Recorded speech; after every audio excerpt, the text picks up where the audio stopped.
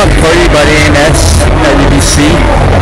Um, kept showing the inside the venue because of course, that is um, illegal to do.